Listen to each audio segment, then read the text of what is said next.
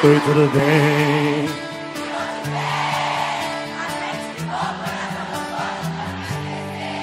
Desculpa a visita, eu só vim te falar. Tô afim de você, se não tiver, você vai ter que ficar. Diz aí!